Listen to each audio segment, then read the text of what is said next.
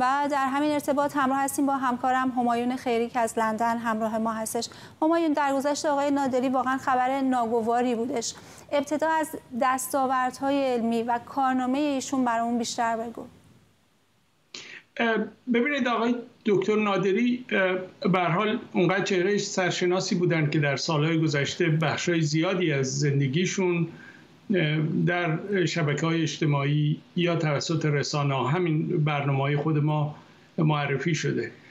ایشون وقتی در از ایران به آمریکا رفتن در زمینه ارتباطات رادیویی که پیش از این حال هنوز شبکه های رادیویی و تلویزیونی شبیه الان نبود فعال بودن. و همین پایه ارتباطات موبایلی امروز هست اون کاری که ایشون انجام دادن. و به خاطر همین کاری که انجام دادن دعوت شدن به ناسا که در اونجا بتونن به صلاح ارتباطات ای رو برقرار بکنن ارتباطات با فضاپیماها و با ماهواره هایی که به سیارات مختلف فرستاده میشه یا در مدار زمین قرار می‌گیره. و این باعث, باعث شد که دکتر نادری در ناسا فعال بشن و به تدریج تبدیل شدن به مدیر پروژه هایی که در بخش خبری مختلف هم گفته شد. ابتدا در دفتر اکتشافات مریخ فعال شدن مدیر اونجا شدن و بعد هم اکتشافات منظومه شمسی. خیلی نکته مهمی است که ایشون بعد از سی سال فعالیت در ناسا به دلیل دستاوردهای خیلی خوبی که داشتن خیلی مهمی که داشتن در راهبری طرحهای علمی سه تا جایزه مهم در از ناسا دریافت کردن. و از این جالبتر این است که ایشون پس از بازنشستگی از ناسا به این افتخار هم نائل آمدن که یک سیارک به نام 5515 نادری به اسم ایشون نامگذاری شد به افتخار فعالیت هایی که دکتر نادری در ناسا انجام دادن.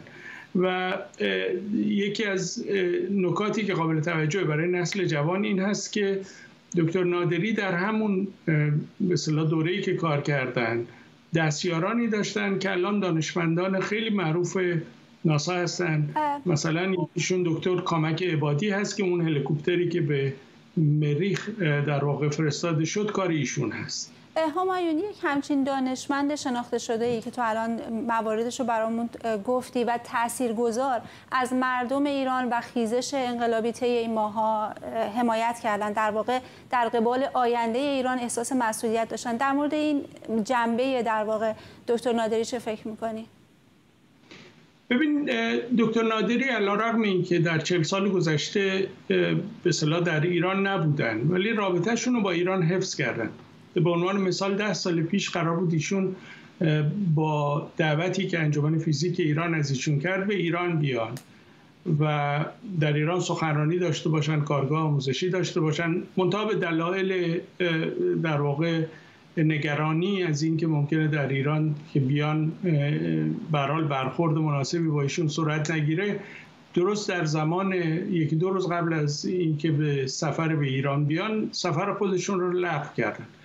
منتها این نکته خیلی مهمی است که علاوه بر اینکه دانشجویانی که از ایران می‌رفتن به آمریکا و در دانشگاه های مختلف یا همکار ناسا می شدن از حمایت ایشون برخوردار بودن خود دکتر نادری از نظر علمی با جامعه علمی ایران در داخل کشور هم ارتباطات زیادی داشت و همین باعث شده بود که بسیاری از کسانی که مایلن در برنامه های ناسا یا در برنامه های هوافضا شرکت بکنن در خود ایران بتونن از ارتباطی که با دکتر نادری دارن استفاده بکنن برای که بتونن به سازمان ها یا دانشگاه هایی که در این زمینه ها کار می‌کنن ملحق بشن.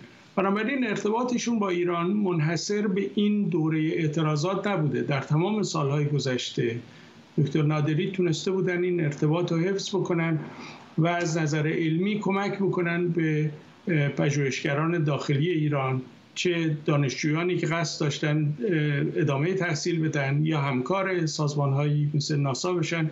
چه کسانی که در خود ایران کارهای پژوهشی می‌کردن و تعداد بسیار زیادی در ایران هستن که از حدود چهل سال پیش تحت عنوان مطالعات مختلف یا تحت مطالعات مختلف با ناسا کار می‌کردن و از همکاری دکتر نادری برخوردار بودن.